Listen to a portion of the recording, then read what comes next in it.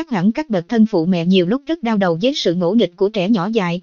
Bé ăn dạ, thăng khóc chỉ để được mua đồ chơi, đồ dùng mới nhưng khi có được rồi lại rất nhanh chán, thậm chí chỉ một thời gian ngắn đã dứt xót. Vậy thì, mời các gamer thủ cùng theo dõi câu chuyện của bà mẹ người Trung Quốc dưới đây.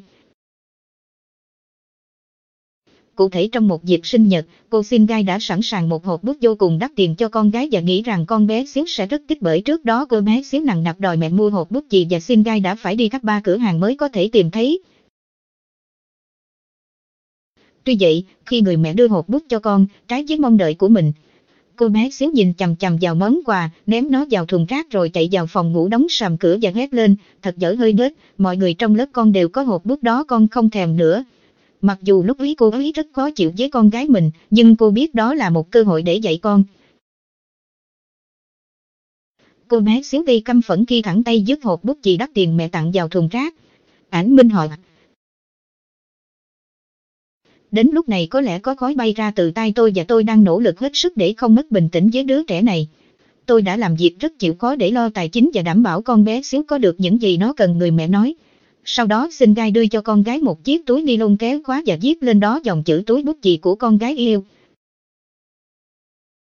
Ngay lập tức cô bé xíu bất thần hừng khóc, lúc này chiếc túi bút chì mới quý lạnh lẽo và xinh đẹp làm sao nhưng đã muộn mất rồi. Sau đó xin gai nói với con hãy nhặt cái túi bút chì ra khỏi thùng rác và đem tặng nó cho ai xứng đáng hơn, các gamer thủ mà thân phụ mẹ không có tiền để mua đồ dùng học tập hoặc các gamer thủ không có thân phụ mẹ. Con không có bất cứ quyền gì khác biệt và con phải biết mình may mắn thế nào. Hồi mẹ còn nhỏ dại mẹ cũng đã từng làm tất cả những việc như vậy. Và mẹ thực sự tin rằng việc thay đổi nhận thức của mỗi người và sự biết ơn có thể thay đổi mọi tình huống trong cuộc sống. Ngay sau khi câu chuyện được chia sẻ, nhiều dân mạng đã để lại bình luận, ô, cô đúng là người mẹ tốt đã dạy cho đứa trẻ bài học lớn trong cuộc sống, biết cảm ơn, bạn đã làm một công việc xuất sắc, tôi quan nghênh gamer thủ.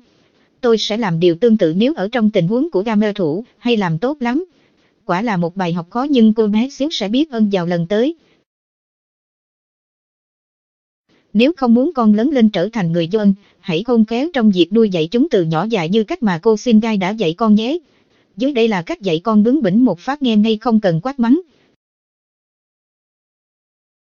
1. Kiên nhẫn lắng nghe và đừng tranh luận, những lúc trẻ bướng bỉnh, cứng đầu, không chịu nghe lời thì bố mẹ không nên dội dã gắt giận hoặc ngay lập tức tranh luận, tấn công mắng con bởi như vậy chỉ khiến tình hình tệ thêm mà thôi. Tốt nhất, khi ấy, mẹ nên chịu khó lắng nghe và có cuộc thủ thỉ nhẹ nhàng với con. Bố mẹ nên thận trọng trong việc giao tiếp, sử dụng giọng điệu và ngôn ngữ cơ thể, 2. Phớt lờ những yêu cầu không thỏa đáng của con, đôi khi chính việc đáp ứng nhanh bất cứ đòi hỏi nào của con sẽ khiến trẻ trở nên bướng bỉnh, khó bảo. Khi ấy, trẻ nhận thức được rằng bố mẹ rất thuận lợi chiều theo mong muốn của chúng, nên một khi không yêu cầu được, chúng sẽ khó chịu và la hét. Bởi thế, phớt lờ những yêu sách không thỏa đáng của con cũng là một cách hay để trị kết thúc điểm sự bướng bỉnh, cứng đầu của con. 3 động viên và khen ngợi con khi cần thiết, thái độ, cách đối xử của người lớn với con cũng là nguyên nhân hình thành nên sự bướng bỉnh, khó bảo ở trẻ. Chính bởi vậy, muốn thay đổi một đứa trẻ cứng đầu, bố mẹ cần nỗ lực động viên và khen ngợi con khi chúng nỗ lực thực hiện những việc tốt, cho dù đó là việc nhỏ dại nhặt. Đừng gây gắt khi con làm sai điều gì đó mà hãy thủng thẳng phân tích cho con hiểu. 4 hãy nỗ lực tạo cho trẻ một gia đình yên ắng, hạnh phúc, trẻ em học hỏi rất nhiều thông qua hành vi ứng xử hàng ngày của bố mẹ.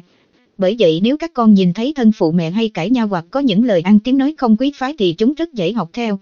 Một nghiên cứu giảng đã chỉ ra rằng bố mẹ bất hòa có thể dẫn đến một môi trường căng thẳng trong gia đình và điều đó ảnh hưởng đến